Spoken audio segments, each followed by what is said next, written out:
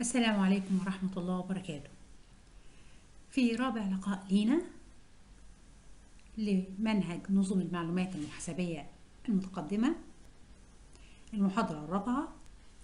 هنتناول في المحاضرة دي بعض المعلومات العامة بشكل سريع عن عقود التأجير وأهميتها في ظل نظام المعلومات المحاسبي.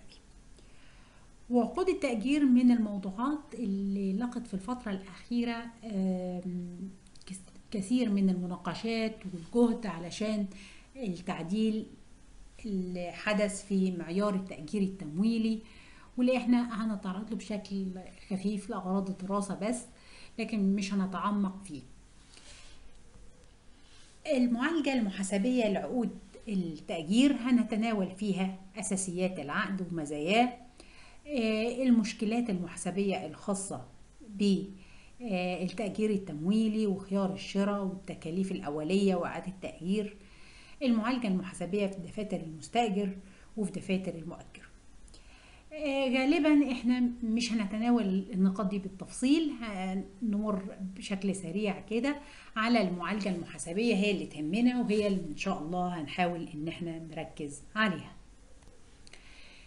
إيه هو عقد التأجير؟ ده اتفاق تعاقدي بين طرفين أحدهما هو المؤجر صاحب الأصل والآخر هو المستأجر اللي بيأجر الأصل ده علشان يستفيد من خدماته. بموجب هذا العقد بيحق للمستأجر استخدام الأصل المملوك للمؤجر لفترة محددة من الزمن. مقابل قسط نقدي بيسمى إيجار بيحدد في العقد المحرر بينهم. مدة العقد بتتوقف على الاتفاق ما بين الطرفين. لكن بالنسبة لنا إحنا بتمثل جزء مهم جدا في تحديد طبيعة العقد ونوعه.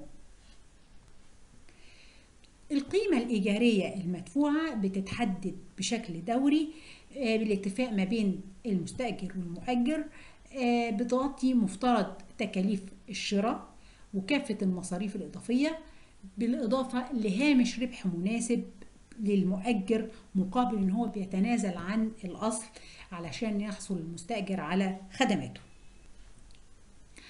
أنواع الإيجار بتتوقف يعني حسب المدة اللي المستأجر هيأجر فيها الأصل. ممكن الإيجار يكون مبلغ ثابت خلال فترة العقد وممكن يكون متناقص أو متزايد ده حسب الاتفاق ما بين المؤجر والمستأجر. كمان ممكن يبقى قيمة الإيجار نسبة من المبيعات اللي ممكن يحققها المستأجر نتيجة استخدامه للأصل المؤجر. بس برضو بنرجع نقول إن ده عقد والعقد شريعة المتعاقدين حسب الاتفاق.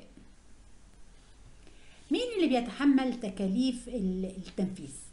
مادام المستأجر بياخد الأصل يبقى المؤجر خلال مدة الإيجار ما يتحملش أي تكاليف تنفيذ خاصة بالأصل صيانته أو التأمين عليه أو الضرايب المستحقة عليه. جميع التكاليف دي مفترض إن بيتحملها المستأجر. هل يجوز إلغاء العقد أو بيع الأصل؟ حسب الاتفاق قد يكون عقد التأجير غير قابل للإلغاء. أو قد يشمل الحق في الإلغاء المبكر قبل انقضاء مدة التأجير على أن يدفع المستأجر للمؤجر مبلغ كتعويض نتيجة إن هو أخل بالعقد أو ما خدش الأصل خلال الفترة اللي اتفقوا عليها. القيمة دي تتحدد وفقا للفترة المتبقية من مدة الإيجار كتعويض للمؤجر عن فسخ العقد. كمان ممكن ينص في العقد إن للمؤجر حق في بيع الأصل لطرف ثالث مع تحصيل كل أو جزء من الفرق بين سعر البيع والتكاليف غير المستردة من المستأجر لحساب المؤجر ما هو عقد التأجير التشغيلي؟ عقد التأجير بتاع الأصل ما بيتمش رسملة قسط التأجير يعني إيه؟ بعتبره مصروف عادي بيظهر في قائمة الدخل لن يتم إثبات الأصل في دفاتر المستأجر. يعني الأصل ما زال في دفاتر المؤجر والمستأجر بياخد الأصل يستفيد منه فترة ويرجعه للمؤجر مقابل مصروف إيجار. عند المؤجر بيبقى اسمه إيراد إيجار. في نهاية مدة التأجير وبعد دفع دفعات التأجير بيعود الأصل للمؤجر وهنا المستأجر بيثبت قسط الإيجار زي ما اتفقنا مصروف إيجار وبيظهر في قائمة الدخل. بينما المؤجر بيثبته كإيراد وبرضه بيظهر في قائمة الدخل الخاصة بيه. العقد الخاص بالتأجير التمويلي لأ. لإثبات التأجير كتأجير تمويلي لازم يتوافر فيه مجموعة من الشروط. بيتم نقل ملكية الأصل للمستأجر. بي يعني بيظهر في دفاتر المستأجر في ميزانيته. بس تحت مسمى إن هو عقد تأجير تمويلي أو أصل مؤجر تأجير تمويلي. بيتضمن عقد التأجير منح المستأجر خيار شراء. يعني ممكن بعد الفترة ما يرجعش المستأجر الأصل للمؤجر لا يشتريه. بيغطي فترة التأجير فترة 75% من عمر الأصل أو أكتر بتكون القيمة الحالية للحد الأدنى لدفعات التأجير بعد استبعاد أي تكاليف مساوية 90% أو أكتر من القيمة السوقية العادلة للأصل. وهنا بتخضع لعمليات حسابية بنستخدم فيها معاملات القيمة الحالية. معنى كده أن عقود التأجير التي لا يتحقق فيها أحد. المعايير الأربعة أو الاشتراطات الأربعة السابقة بتصنف كتأجير تشغيلي مش تمويلي. هتفرق إيه عندي كنظام محاسبي تفرق في المعالجة لقسط الإيجار أو لدفعات الإيجار سواء في دفاتر المؤجر أو المستأجر. دفاتر. المستأجر لو أنا بأجر تأجير تمويلي بداية أول ما بيخرج الأصل من عند المؤجر للمستأجر لازم المستأجر يعمل القيد ده من حساب الآلة المؤجرة لأن الآلة بقت عنده. وممكن يزود كمان تفصيل من حساب الآلة المؤجرة تأجير تمويلي. إلى حساب الالتزامات شرط تأجير تمويلي. هنا أثبتت إن الأصل عند المستأجر مقابل دين عليه للمؤجر. عند المؤجر الآلة خرجت فلازم تيجي داينة. مقابل إنه هيثبت المستأجر في دفاتره على إنه مديني عقود تأجير. معنى كده إن المعالجة المحاسبية للتأجير التمويلي أول ما بنبتدي نمضي العقد والمستأجر بياخد الآلة. بص كده إحنا حاطيناهم قصاد بعض عشان تبقى تشوفها المستأجر الآلة بتروح له فبتخش مدينة لأنها أصل. يبقى حساب الآلة المؤجرة مدين مقابل التزامات تأجير تمويلي داين.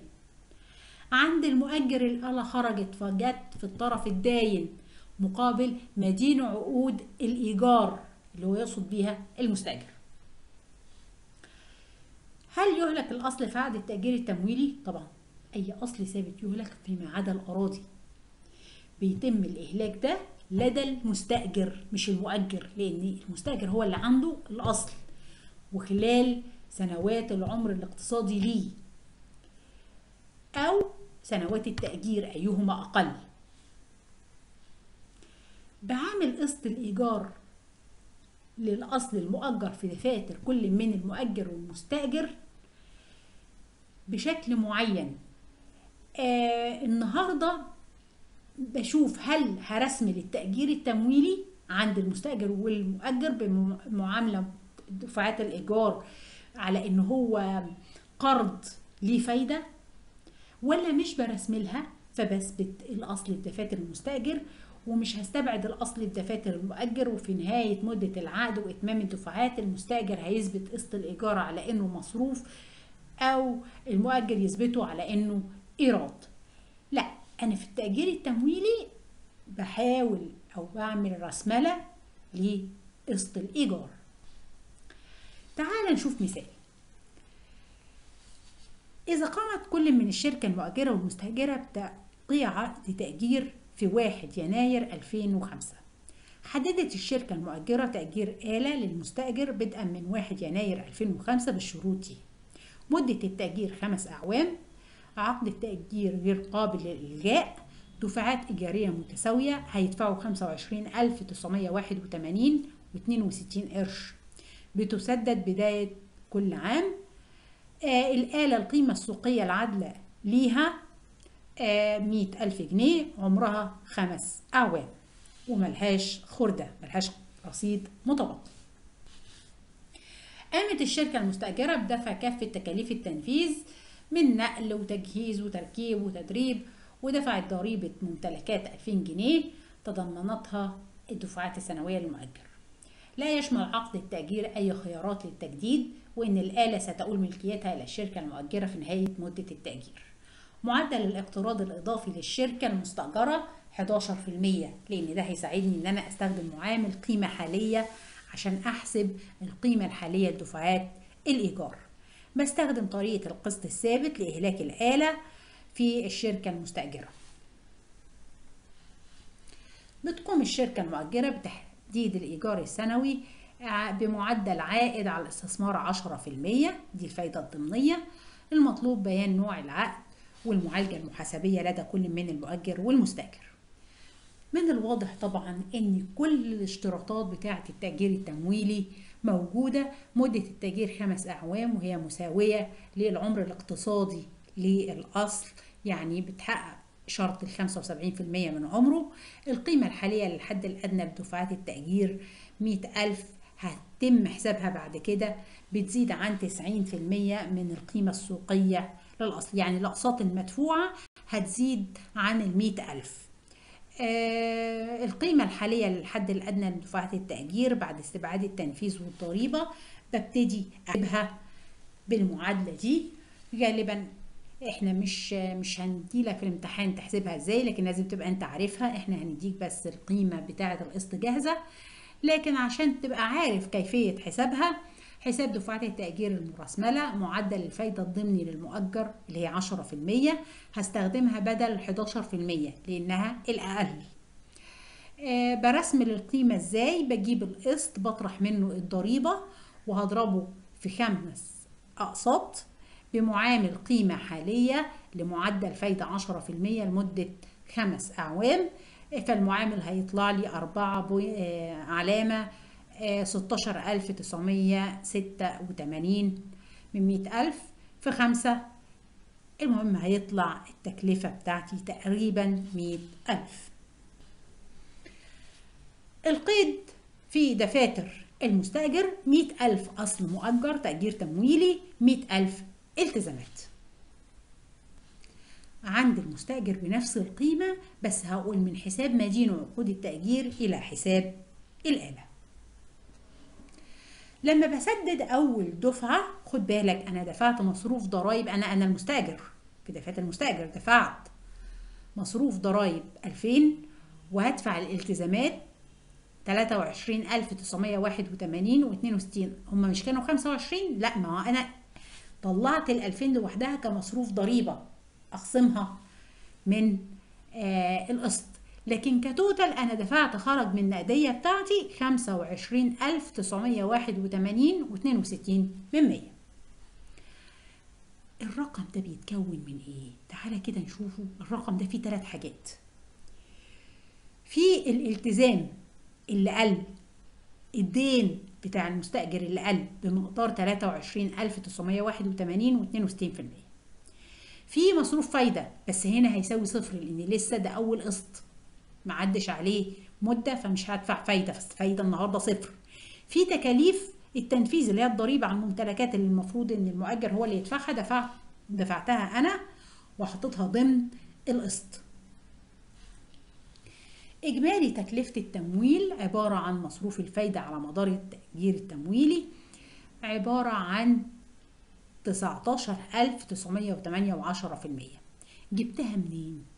ده الفرق ما بين المية ألف والمية وتسعتاشر ألف تسعمية وتمانية وعشرة من مية.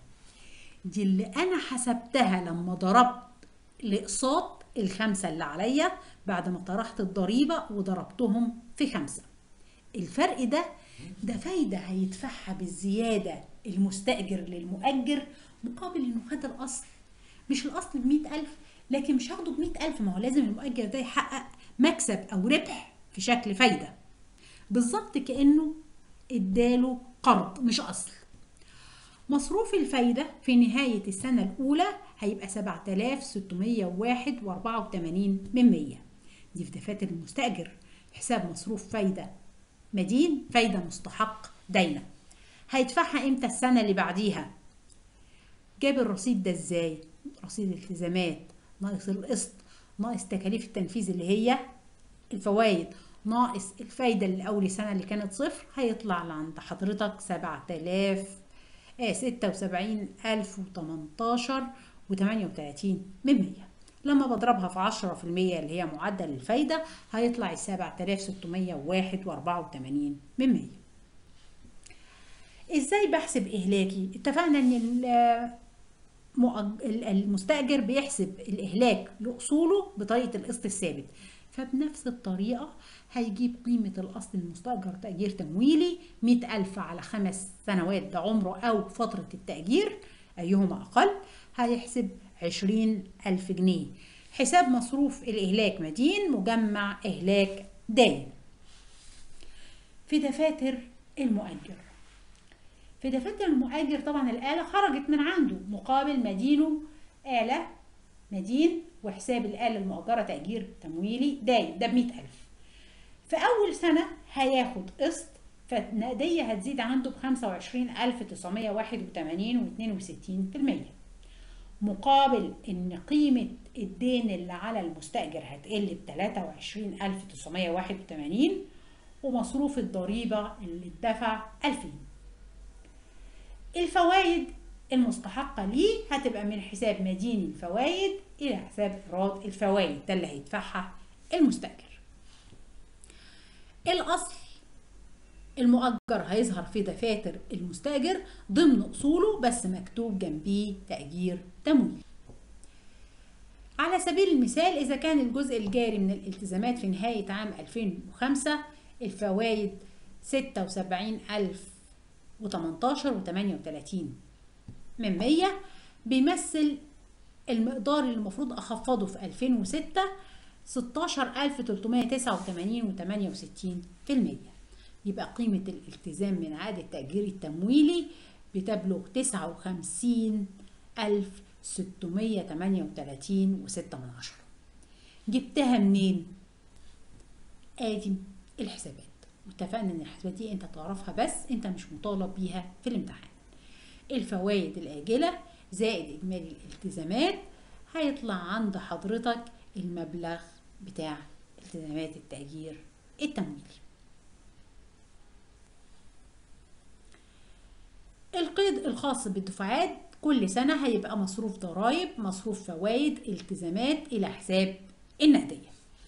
طبعا الحاجات دي دلوقتي إحنا بنحسبها بسهولة على الإكسل فعلشان كده في الامتحان إحنا مش هنطالبك بالتفاصيل دي إحنا هنطالبك بس بمبلغ القسط على بعضه إنك أنت هتدفع كل فترة عشرين ألف أو خمسة وعشرين ألف فهتقول من حساب التزامات تأجير تمويلي إلى حساب نقدية. وعند المؤجر هيبقى العكس من حساب نقدية إلى حساب مدينه تأجير تمويلي برقم واحد من غير التفاصيل دي. بتتكرر العملية دي كل سنة لحد آخر الفترة. في آخر الفترة بيتم في دفاتر المؤجر القيد ده. حساب نقدية حساب مدين أسفة مقابل مديني عقود التأجير والفايدة ومصروف الضرائب المعالجة المحاسبية لو جه قرر المستأجر إن هو يشتري الآلة بعد انتهاء مدة العقد. وكان المبلغ اللي عرضه للشراء خمسين ألف جنيه. لو المؤجر وافق مفترض إن أنا بعمل القيد ده. واحدة واحدة بقى معايا. أنا عندي آلة بمية وخمسين ألف. جت منين؟ الآلة القديمة بمية ألف. زائد هدفع خمسين ألف عليها علشان تبقى ملكي بقى خلاص مش مؤجرة تأجير تمويلي فالإجمالي بتاعها مية وخمسين ألف. أنا أهلكتها خلال الخمس سنين أنا المستأجر بمية ألف. يبقى الطرف المدين بمية وخمسين ألف ومجمع إهلاك بمية ألف. تعالى للدين هتقفل الآلة القديمة المؤجرة لأنها بقت ملكك. يبقى حساب الآلة المؤجرة داين وهتقفل مجمع إهلاكها مرة تاني بمئة ألف وهتدفع نقدية بخمسين ألف. ده القيد في حالة الشراء إيه المعالجة المحاسبية في دفاتر المؤجر؟ ملوش دعوة غير إن هو هياخد الخمسين ألف. بالنسبة له هتبقى ربح. بيع الآلة. وأحيانا ممكن تبقى خسارة. لو قيمة الآلة أعلى من خمسين ألف. لكن في الحالة دي هتبقى ربح. لو عقد الإيجار اللي فات ده أخلي بأحد الشروط كانت مدة التأجير مثلا ثلاث سنين أو القسط ما كانش ال total بتاعه الثلاث سنين ما بيزيدش عن 90% من القيمة العادلة للأصل. يعني شرط من الشروط الأربعة مش متوافرة أو الشروط الأربعة كلها مش متوافرة. يبقى عقد تأجير تشغيلي. يبقى في دفاتر المستأجر ده مصروف إيجار هيجي مدين والنقدية داين. في دفاتر المؤجر لو التأجير تشغيلي هو بيعتبر إن النقدية اللي داخلة ده إيراد فهتبقى حساب النقدية مدين بقيمة قسط الإيجار إيراد الإيجار داين بنفس القيمة وكل عام هيحسب الإهلاك في دفاتره يعني في التأجير التشغيلي المؤجر هو اللي بيحسب الإهلاك. وفقا لطريقة القسط الثابت من حساب مصروف الإهلاك إلى حساب مجمع الإهلاك. شكراً.